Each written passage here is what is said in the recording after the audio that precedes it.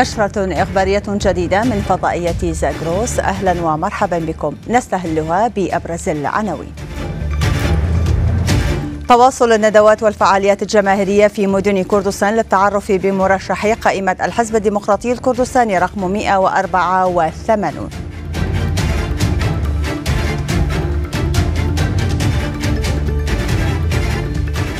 المفوضية تعلن فحص جميع أجهزة العدوى الفرز الإلكتروني وتؤكد جاهزيتها للانتخابات وافتتاح سبع مراكز انتخابية جديدة للعراقيين المغتربين في ألمانيا.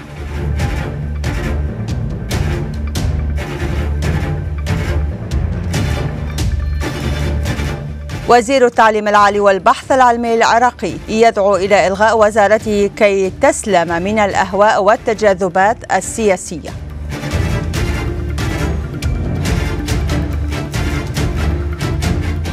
مايك بامبيو وزير الخارجية الأمريكي يجدد إدانة إيران ويتحدث عن أهداف واشنطن بسوريا.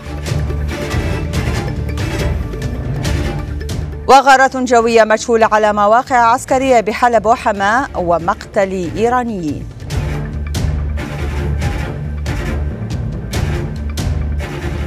ومن العناوين إلى التفاصيل. وصل سكرتير المكتب السياسي للحزب الديمقراطي الكردستاني فاضل ميراني يوم الاثنين إلى مدينة السليمانية للإشراف على الحملة الانتخابية للقائمة رقم 184 للحزب. واجتمع بمجموعة من أعضاء وكوادر فروع الحزب في محافظة السليمانية وأعلن ميراني أن كوادر وأعضاء الديمقراطي الكردستاني ملتزمون بالتعليمات الحزبية حول الدعوة إلى التصالح والابتعاد عن التشهير والتجريح والتنابس وحول الاتهامات التي توجه إلى الحزب الديمقراطي الكردستاني حول ما يدور في الإقليم. قال ميراني هم معنا في إنجازاتنا ويختفون عند ظهور السلبيات. لكننا نعتبر أنفسنا مسؤولين دوما ولن نتهرب من المسؤولية.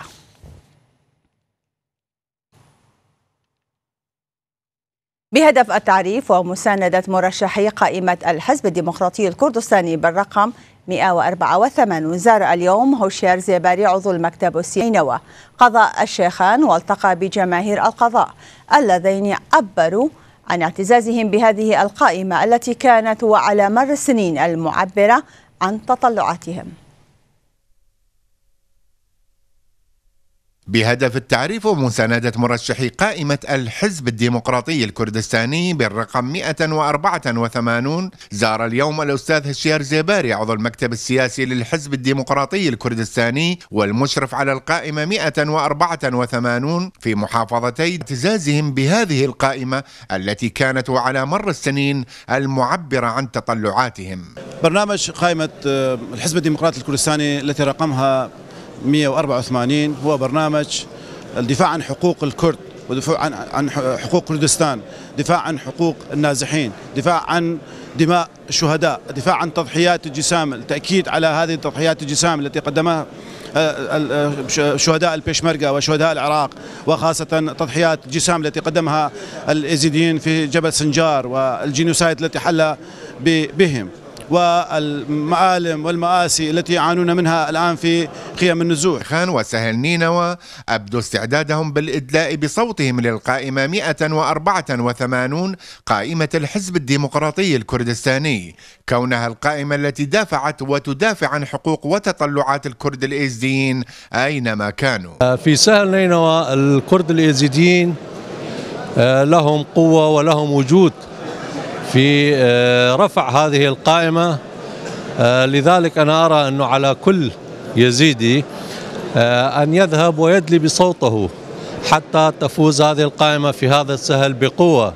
لأنه إلقاء حقوقهم وعن عما يجعلهم في أمان واستقرار في آه، كردستان وفي العراق بشكل عام. وأشاد الزيباري بدور أهالي الشيخان البارز بالحفاظ على تماسك هذا النسيج الاجتماعي المتعدد الأطياف والأديان والقوميات والذي يعتبر نموذجا للتعايش السلمي والتآخي. آه، أنا شخصيا أرى من القائمة 184 هي قائمة البيشمركة قائمة التحرير قائمة ال referendum. قائمة التعايش السلمي قائمة وجود الأقليات لأن آه، قائمة 184 قائمة البارزاني المدافع الأمين لجميع مكونات كردستان. أنا أصوت القائمة 184 آه، قائمة التآخي والسلام والتعايش. أتمنى من كل الناس ينطون القائمة 104 من أيار المقبل وطمأن الحضور أن القائمة 184 قائمة الحزب الديمقراطي الكردستاني هي القائمة الأكبر بين القوائم المتنافسة كونها القائمة التي تضم كل أطياف وأديان وقوميات كردستان والقائمة التي حافظت على الأمن والأمان والمكتسبات والحريات لكل من سكن هذه الأرض. القائمة 184 هي قائمة آه، الشهداء قائمة المؤنفلين قائمة آه، الشعب الكردستاني المناضل هي قائمة آه، الحزب الديمقراطي الذي كل المكونات في كردستان. البارتي الديمقراطي الكردستاني في محافظة نينوى هو تحقيق التوازن والاستقرار لأن إحنا بالموصل مشهورين تعدد القوميات عندنا وتعدد الأديان. فإحنا اللي بارتي ديمقراطي الكردستان يسعى له هو تحقيق الأهداف بين جميع القوميات. وأن نعيش الناس بأمان وباستقرار. لقناة زاغروس تي في أكرم سليمان شيخان. نظم الفرع الثاني للحزب الديمقراطي الكردي الحزب رقم 184 ويأتي تنظيم هذه الندوة للحملات الداعية للانتخابات البرلمانية وتعزيز المشاركة الجماهيرية سعيا لتطبيق الدستور. الدعائية للانتخابات البرلمانية في إقليم كردستان بدأ العد التنازلي لأول انتخابات برلمانية تكمن أهميتها في اختيار برلمان عراقي جديد وتستمر معها الحملات الدعائية للقائمة 184 للحزب الديمقراطي الكردستاني لتعزيز المشاركة الجماهيرية سعيا لتطبيق الدستور وعدم المساومة على حقوق الكرد. وأسعى إلى تحقيقها تطبيق الدستور العراقي لأن جميع مشاكل العالقة بين الأقليم والحكومة المركزية. سببها عدم تطبيق الدستور عدم تطبيق قوانينها من قبل الحكومات العراقية السابقة. على الحصول على كل متطلبات وحقوق الشعب الكردي حسب ما مثبت في الدستور العراقي وقانون الإدارة المالية والدين العام.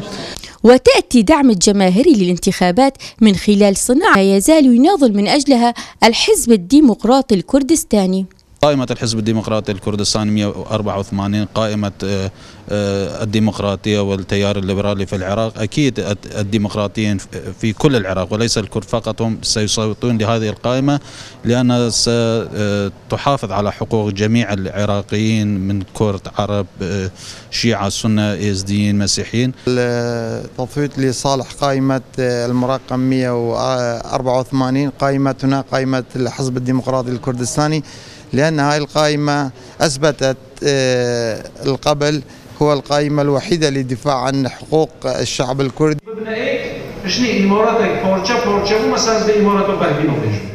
يعد الانتخابات البرلمانية وسيلة عملية للنضال الديمقراطي دفاعا عن حقوق الكرد وكردستان وهذا ما تسعى إليه الحزب الديمقراطي الكردستاني من خلال قائمته 184 الذي ناضل وما يزال يناضل من أجل حرية شعب كردستان.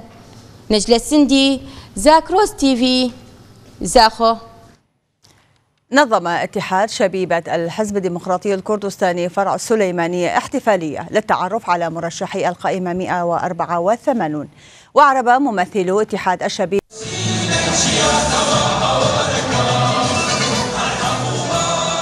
دعما للقائمة 184 نظم اتحاد شبيبة الحزب الديمقراطي الكردستاني فرع السليمانية احتفالية للتعريف بمرشحي القائمة للانتخابات البرلمانية العراقية. ممثلون عن اتحاد الشبيبة أعربوا عن ثقتهم بقائمة المرشحين لإيصال صوت الشباب الكردي إلى بغداد وتحقيق آمالهم. نحن كاتحاد الشباب الكردستاني فرع السليمانية آه، آه، هذا للمراسيم اليوم ضمن برامجنا آه، للقائمة الحزب الديمقراطي الكردستاني 184 للمجلس النواب العراقي. القائمة 184 هي قائمة الكردستانية. هي قائمة الشعب الكردستاني. والقائمة الذي دافع عن الشعب الكردستان في بردة وفي سحيلة والذي دعموا الوحدة الكردستانية في مجلس النواب باش مانزاني كوكو ديمقراطي كردستان نحن كاتحاد شبيبة الحزب الديمقراطي الكردستاني عملنا على إيصال مطالب شبابنا إلى مرشحي القائمة 184 وندعوهم هذا العام للدفاع عن حقوق الشباب الكردي في بغداد. ومحاولة توحيد الصف الكردي.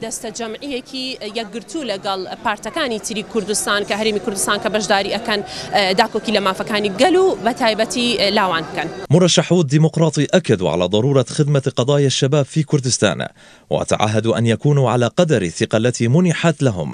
أنا كابنة شهيد وأيضا أنا معلمة عملي هو التعامل مع الشباب والصغار. هم قوة البلد يعني قوة البلد الآن وقوتنا في الغد نعتمد عليهم. لهذا عندنا أعمال كثيرة إن شاء الله. إذا رحنا البرلمان العراقي أعمال جمة لهم لأن لازم نعتمد عليهم ولازم هم هم يعتمدون علينا. نحقق لهم المراد المبتغى في البرلمان العراقي من حقوقهم المسلوبة حد هسه. الحزب الديمقراطي الكردستاني اهتم بفئة الشباب خلال انتخابات العام الحالي وذلك عبر طرح قائمة مرشحين وبرامج انتخابية غالب عليها الطابع الشبابي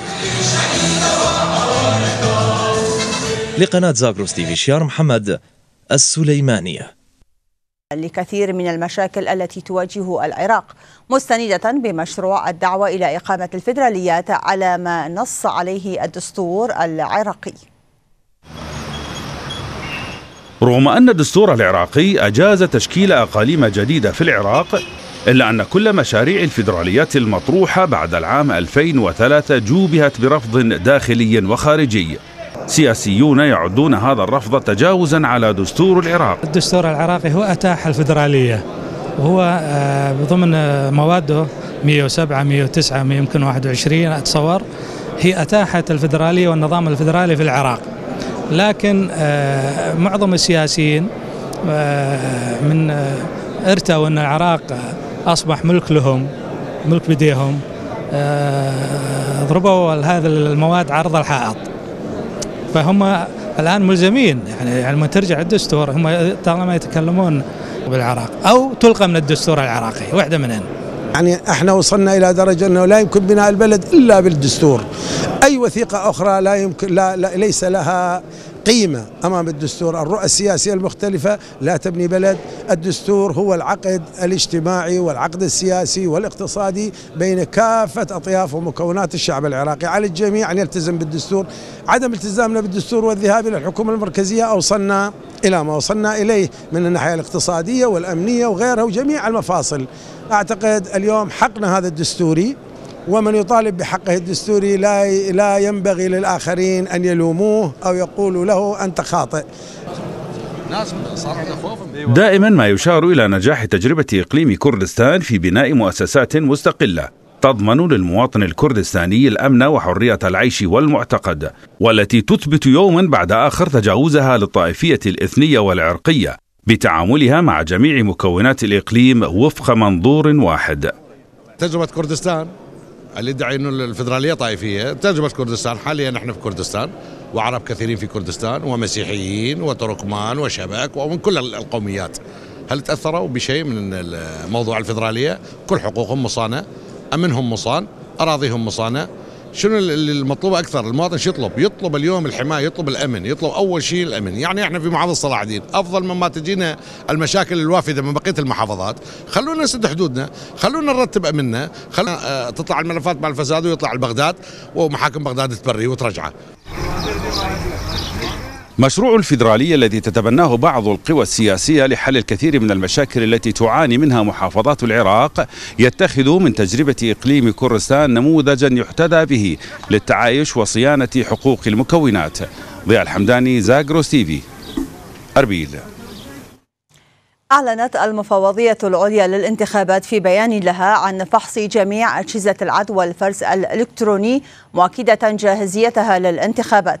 وأكد البيان فحص جميع أجهزة العد والفرز الإلكتروني بواقع 60 ألف جهاز من الناحية اللوجستية وفي كل أنحاء العراق وتم تجهيز مكاتب المحافظات جميعا للعمل في يوم الاقتراع. وأضاف البيان أن المفوضية عملت على إجراء محاكاة لغرض, لغرض فحص عمل البرنامج الخاص بتلك الأجهزة. مبينا أن ذلك جاء من خلال إجراء عمليتين للمحاكاة استخدمت فيها ألف محطة على مستوى محطة واحدة لكل مركز تسجيل وفي جميع المحافظات العراقية. وتابع أن عملية التصويت تمت بشكل سلس وبوجود خبراء ومراقبة فريق الأمم المتحدة. وعند الانتهاء من عملية الاقتراع أنجزت العملية بالكامل وتم إعطاء تقرير ورقي من قبل الجهاز بنتائج التصويت. مفوضية العليا المستقلة للانتخابات عن وصول نسبة توزيع البطاقات البيومترية بين الناخبين إلى 68% لغاية الآن. وقال عضو مجلس المفوضين بالمفوضية حازم الرديني أن هذه النسبة المتحققة في توزيع البطاقات الانتخابية جيدة. وتوقع ارتفاع هذه النسبة من الآن لغاية إغلاق مراكز التوزيع. وأضاف الرديني أن المفوضية ستنتهي من عملية توزيع تلك البطاقات يوم السابع من الشهر المقبل على أن تسحب من جميع مراكز التوزيع في اليوم التالي إلى المكتب الوطني. وطلب الرديني جميع المواطنين بالإسراع بتسلم بطاقاتهم البيومترية لتتسنى لهم المشاركة في يوم الاقتراع في الثاني عشر من آيار المقبل. أكد مدير مكتب انتخابات ألمانيا والنمسا حيدر الجبوري في تصريح له أن المفوضية رف تم افتتاح مركز انتخابي في العاصمة النمساوية فيينا لغرض تسهيل وصول الجالية العراقية هناك.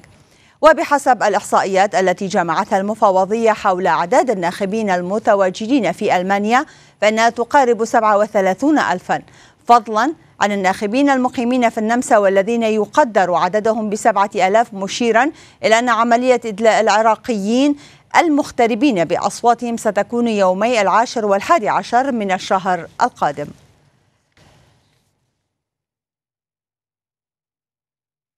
طالبت اللجنة الأمنية النيابية بتكثيف الجهود الأمنية والاستخباراتية للحد من عمليات اغتيال مرشحي الانتخابات الآخذة في ازدياد لترهيب المرشحين والناخبين. وقال عضو اللجنة محمد الكربلي إن هذه العمليات الهدف منها إرهاب الجميع مع قرب موعد الانتخابات.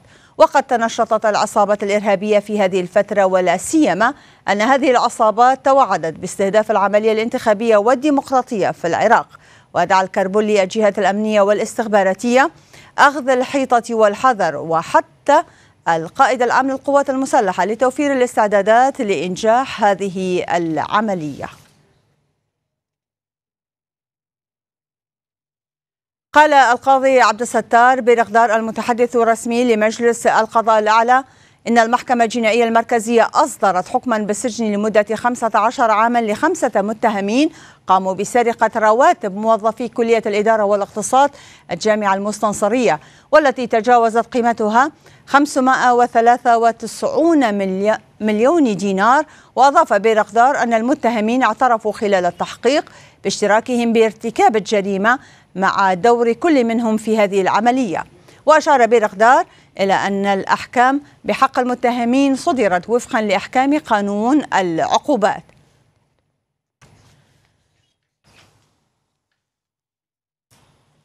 المؤسسات التربوية والتعليمية لم تسلم من التسيس فدعوات وزير التعليم العالي عبد الرزاق العيسى لإلغاء وزارتي التربية والتعليم العالي وتشكيل مجلس على للتعليم لم تلقى ذلك الاهتمام الكبير من الطلبة أو الكوادر. من التسيس أيضاً. ما دعا إليه وزير التعليم العالي عبد الرزاق العيسى إلغاء وزارتي التربية والتعليم العالي وتشكيل مجلس أعلى للتربية والتعليم في العراق على أمل إدارة هذا الملف بشكل مستقل وبعيدا عن الأهواء والتجاذبات السياسية. لم يجد صدى كبيرا لدى الكوادر التدريسية باعتبار أن تشكيل المجلس لن يقيه من التسييس أو المحاصصة الحزبية. حاله حال بقية المؤسسات الحكومية التي كان من المفترض أن تكون مستقلة. التعليم والتربية في العراق هي حقيقة هي هروب من أرض الواقع لأن نفس نفس ما تم أكو هناك ضغوطات على وزارة التربية ووزارة التعليم هي نفس الضغوطات عينها سوف تكون على هذا المجلس ونفس الآلية المحاصصة في تعيين المسؤولين على مستوى رئيس هيئة أو وكلاء لرئيس الهيئة أو مدراء عامين أيضا قائمه على أساس المحاصصة. الطلبة من جانبهم تحدثوا عن تدني مستوى التعليم والتربية والأسباب التي أدت إلى ذلك فتقادم المناهج التربوية والتعليمية وتدخل الأحزاب في عمل الوزارات الذي انعكس سلبا على الجامعات أدى إلى انحدار المستوى التعليمي في الجامعات العراقية وخصوصا الدراسات العليا. في الجامعات العراقية في كليتنا في بعض رئاسات الأقسام. بالفعل هي يعين من قبل جهة سياسية أو تابع لجهة سياسية يعني هو مدير موجود لكن يتبع بشكل أو بآخر لجهة سياسية. هذه كارثة. من المفترض أنه يعزل السياسة عن التعليم لكن ما نراه حاليا في الجامعات العراقية سواء الأهلية أو الحكومية هو وجود السياسة داخلة في عملية تربوية وهذا غلط. ولم يقتصر تأثير الصراع السياسي على مستوى التعليم التربوي والجامعي فقط. بل وصل إلى تضارب القرارات والأوامر الإدارية. إبعاد المؤسسات التربوية والتعليمية عن التحزب والمحاصصة أصبح مطلبا رئيسيا لدى كوادر الجامعات والطلبة. نتيجة الانحدار الحاصل في مستوى التعليم بسبب تدخل الأحزاب في هذه المؤسسات. من بغداد أحمد فيلي زاغروس تي في. مشاهدينا الكرام ولمناقشة أكثر حول هذا الموضوع ينضم إلي من بغداد الدكتور هاشم حسن عميد كلية الإعلام جامعة بغداد. مرحبا بك دكتور. دكتور دعوة وزير التعليم العالي والبحث العلمي الدكتور عبد الرزاق العيسى لإلغاء الوزارتين بسبب التأثيرات السياسية. ما هي الضمانات أن لا يكون المجلس المقترح تحت تلك التأثيرات؟ تحية لقناتكم وللمشاهدين الكرام. الحقيقة من الناحية الواقعية أنه بعض الوزارات بعض المؤسسات يجب أن تكون خط أحمر بعيدة عن المحاصصة وبعيدة عن التدخل السياسي لأنه هاي معنية بمسائل معرفية تتعلق بمستقبل البلاد. الدولة العراقية حتى أنه من أربع سنوات السيد العبادي عندما أعلن تشكيل حكومة من تكنوقراط نقول بصراحة وبما يعنيني وأنا أمضي سنوات طويلة من داخل التعليم العالي كمراقب وكمسؤول تنفيذي أقول الحكومة لم تكن مخلصة للتكنوقراط آه إنه هذه المحاصصة المقيتة هنالك المئات من العمداء المستقلين لم يتم تثبيتهم بانتظار توزيع الحصص على الأحزاب. آه لجنه التربية والتعليم العالي بمجلس النواب هي مؤسسة للمحاصصة تتدخل بالتفاصيل العلمية للأقسام العلمية وتنفذ سياسة محاصصة مقيته ولذلك إنه دعوة الوزير هو شعور بالإحباط من عدم استقلال الوزارة والتدخل بها سياسة الدراسات العليا انبنت على أساس حصص للأحزاب وهنالك يفترض أن تكون مثلا سياسة مستقلة للدراسات العليا على أساس مبدأ المساواة بالدستور على أساس المنافسة الحقيقية لكن اللي حصل قناة عامة واحدة وهناك ثلاثة عشر قناة مستقلة غير استثنائية تتدخل بها مؤسسة السجناء والمفصولين ذوي الشهداء ضحايا الإرهاب ذو الاحتياجات الخاصة ذوي الحشد الشعبي. كل هذه القنوات تؤدي إلى خرق معيار الرصانة الموجود والجودة.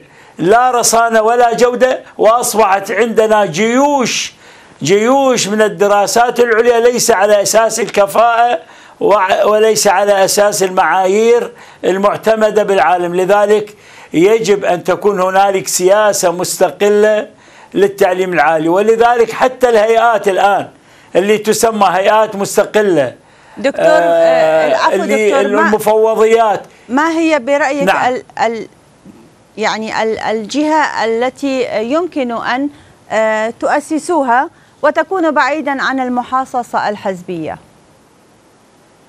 حقيقة مجلس النواب هو مبني على المحاصصة. الحكومة الناتجة عن هكذا مجلس نواب نعم. تؤسس كل أجهزة الدولة المعرفية والخدمية هي تابعة لأحزاب وبعد ذلك أنه تسيطر على العقود على الخدمات وبعد ذلك أنه أخضع التعليم العالي لمنح شهادات للمتنفذين آه، للكبار وأتباعهم من الصغار. نعم. آه، دكتور ألا ترون أن تأسيس آه، المجلس أو مجلس أعلى سيكون ببرنامج قانوني ربما لا يلبي الطموح إضافة إلى برمجتها محاصصاتيا قد يؤثر في بناء الجيل وفق المعطيات الوطنية ويجب أن تكون في اجتماع للوزراء أو مستوى الخبراء في المجالين التربوي والتعليمي فما تعليقك؟ يفترض أن يكون هنالك قانون واضح نعم. لمجلس أعلى للتربية والتعليم العالي له ضمانات أن يكون بعيد عن المحاصصة نعم. يشكل من الخبراء ويضع استراتيجيات للقبول على أساس العراقيين متساوين بدون أي أي مبدأ للاستثناء وبعيد عن البرلمان. فقط تخصص له ميزانية من المال العام وسياسته معلنة ويشكل من الخبراء والعلماء بعيدا عن الصراعات السياسية. هذا هو ضمان لمستقبل العراق. الوضع الحالي سيؤدي إلى دمار. هذه بالعش أكثر من 66 جامعة وكلية أهلية القليل منها رصين. البقية هي عبارة عن دكاكين لجمع الأموال ومنح شهادات للمتنفذين. إذا علينا هذه إذا الوزير التعليم العالي آه، رفع جرس الخطر دق جرس الخطر لإنقاذ التعليم العالي من هاوية كبيرة. دكتور انجرار التربية والتعليم وجرها إلى اتباع سياسات غير سياستها التربوية ستعود بالكارثة على الشعب لأنها لن تخلق جيلا متعاطيا للركائز والمنطلقات الفكرية والسياسية بدلا من تعمق آه، روح العلم والبحث العلمي آه، فما هي وجهة آه، نظركم؟ وجهة نظرنا إذا لم تكن هنالك سياسة مستقلة بشكل مطلق وكامل. فمعنى أنه مستقبل التعليم العالي سينهار لأنه سنضطر آه، مثلا على سبيل المثال الدراسات العليا يجب أن تراعي حاجة السوق. يجب أن تكون إعادة سياسة التعليم العالي العودة إلى مؤسسة المعاهد الفنية الثانويات المهنية. الدراسات العليا يجب أن تكون للنابغين للمجتهدين فقط بدون أي استثناء آخر. هذا إحنا لا ننكر لا ننكر إنه عوائل الشهداء والمضحين امنحوهم كل شيء إلا العلم. فالعلم له أساس خاص على أساس البناء المعرفي لمستقبل العراق وتنميته. دكتور طبعا سوء التربية والتعليم سواء كانت في وزارة التربية أو كانت في وزارة التعليم العالي والبحث العلمي كانت هذه آه، سوء المنهج العلمي أو التدخلات السياسية كانت موجودة آه، بعد 2003 هي موجودة لحد هذه الفترة. لماذا في هذه اللحظة وقبل الانتخابات آه، طالب وزير التعليم العالي والبحث العلمي بهذا التغيير لماذا في هذا, هذا الوقت السؤال بالذات؟ ممكن أني نعم إذا سمحتي لي نعم. هذا السؤال ينطرح على وزير التعليم العالي والبحث العلمي لكن أنا أقول باعتباري أنه أنا كتدريسي نعم. وكعميد لكلية أقول أنه السياسات التعليم العالي وضعت سياسات ممتازة للجودة. نعم. لكنها تخترق بسبب وجود قانون. قانون مؤسسات عندها قوانين تسمح لها أن تخترق التعليم العالي. آخر شيء مثلا الأمانة العامة لمجلس الوزراء تحجز تحجز مقاعد دراسات عليا لموظفيها وكأنما التعليم العالي هي شركة للطيران أو للقطارات. على أي أساس؟ إذا يفترض هنالك سياسة واضحة للمنافسة لا تخترق. دكتور على آه، آه، كلام حضرتك آه، صار يعني طرح عندي سؤال إنه قبل عام 2003 كان التعليم على أوجه رغم الملاحظات الكثيرة لكن حدث خلل كبير بعد ذلك لتدخلات معينة وتغيير فلسفة التعليم وتوجيهها غير وجهتها المهنية والعلمية واستزار أشخاص غير مؤهلين كما حدث في حكومة آه، المالكي عزيزتي أنا قبل 2003 نعم. كتبت مقال بزمن النظام السابق امنحوا المكرمين كل شيء نعم. إلا العلم فاتركوا لأهله. أعدت نشر هذا المقال في زمن المالكي وفي زمن العبادي. كانت في الزمن السابق تحدث خروقات واستثناءات لكنها قليلة. الآن الأحزاب تتحزب لمنتسبيها وأدخلتهم للدراسات العليا بدون حساب عبر قنوات كثيرة. دكتور هل مقالك آه، كانت لها نتيجة؟ أعتقد لا توجد نتيجة لأنه صانع القرار هو الذي يضع المكاسب لمريديه وكذبت الحكومة عندما قالت تكنوقراط. لم يترك وزارة التعليم العالي تعمل كتكنوقراط حقيقي وإنما توجيهات المركزية بددت كل مبادئ الجودة. نعم. نعم. دكتور كونك عميد لكلية الإعلام كيف ترى الحملة الانتخابية على وسائل الإعلام؟ هل هي مهنية أم هي مجرد دعايات انتخابية دون الرجوع إلى أسس وقوانين ومبادئ آه، إعلامية ومهنية؟ أولا ما زال الخمسة والستة الكبار آه، بحكم إمكانياتهم المالية قدرتهم الإعلامية يهيمنون على المشهد الانتخابي اللي أقول أنه هذه الدورة شهدت خروج عن المبادئ المنافسة الإخلاقية بالإشهار والتسقيط السياسي. الجيوش الإلكترونية فعلت فعل سيء بدل التوعية والمنافسة الشريفة الحرة وعرض البرامج وإنضاج العملية الانتخابية لجأوا لوسائل قذرة لإسقاط الآخرين. وهذا أمر مرفوض بصراحة الأمر يعني. الدكتور آه، هاشم حسن عميد كلية الإعلام جامعة بغداد. شكرا لانضمامك إلينا من بغداد. شكرا.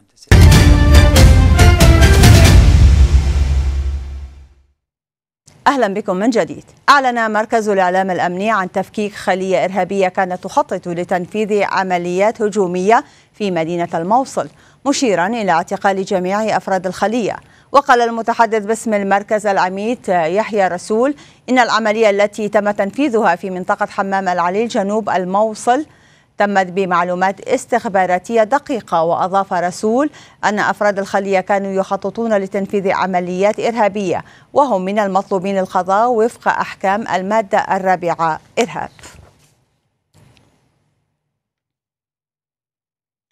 أعلن قائد عمليات ديال الفريق ركن مسهر العزاوي اعتقال اثنين من أبرز قادة داعش في المحافظة. وقال العزاوي إن قوة أمنية من الجيش تمكنت من اعتقال قيادي بارز في داعش الإرهابي بعملية نوعية جنوب ناحية بهرز جنوبي ديالى.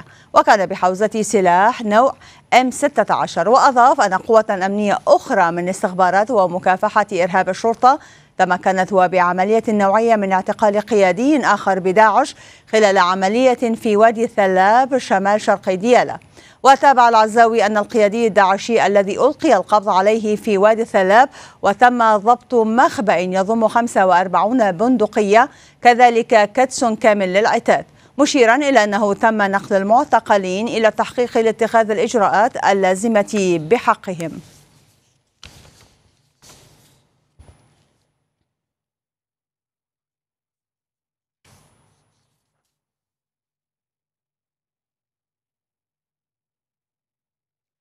أعلنت مديرية تحقيق البصرة في هيئة النزاهة عن تمكنها من ضبط فتحة ملاحية تم إيداعها في مخازن إحدى الشركات العامة في البصرة منذ عام 2012 لم يتم تسليمها للشركة المنفذة لمجسر التنومة مما سبب هدرا بالمال العام بقيمة أكثر من خمسة ملايين دولار أمريكي مبينة أن العملية تمت بموجب مذكرة قضائية. وأشارت المديرية أن التحقيقات الأولية قادت إلى وجود حالات إهمال متعمد وتلاعب تسببت بإحداث هدر في المال العام. وأكدت المديرية أنه تم تنظيم محضر ضبط أصولي بالأوليات الخاصة بالمشروع بموجب مذكرة قضائية. وعرض الأوراق التحقيقية على قاضي التحقيق المختص بغية اتخاذ الإجراءات القانونية المناسبة.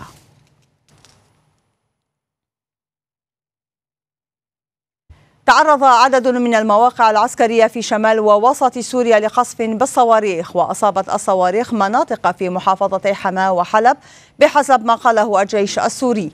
وأفادت وسائل إعلام إيرانية شبه رسمي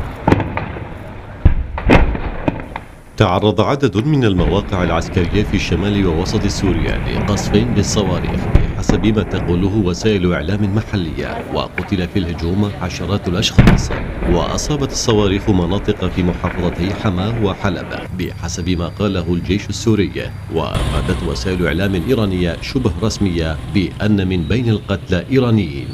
وتفيد تقارير بأن القصف الصاروخي استهدف مخازن أسلحة ومراكز قيادة ووصف التلفزيون الرسمي السوري الهجوم بأنه عدوان جديد من قبل أعدائه وقال إن الهجوم وقع حوالي الساعة العاشرة والنصف مساء بحسب التوقيت المحلي.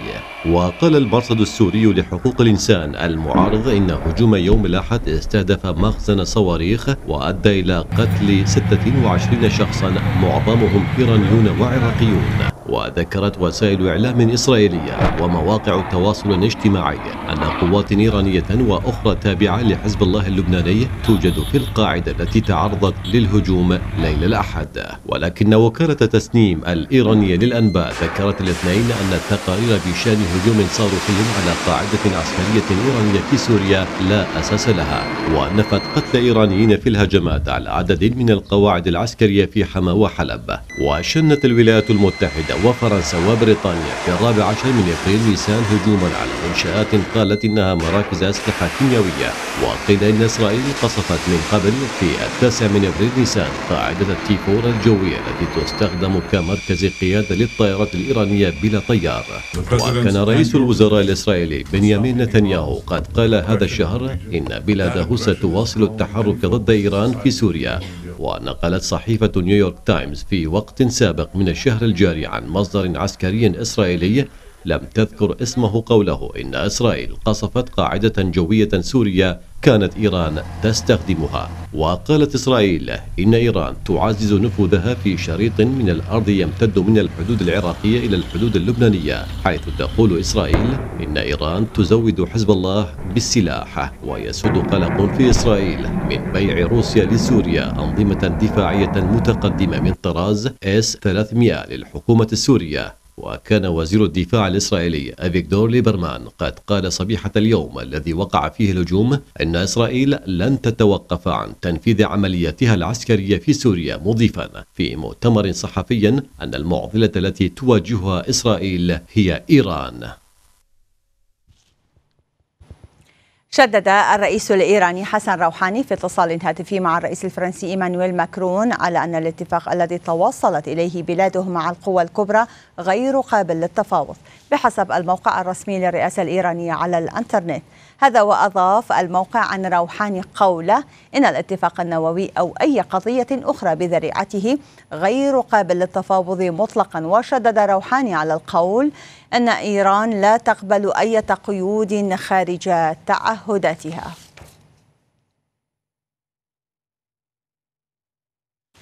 جدد وزير الخارجية الأمريكي مايك بامبيو الاثنين إدانته لإيران مؤكدا إنها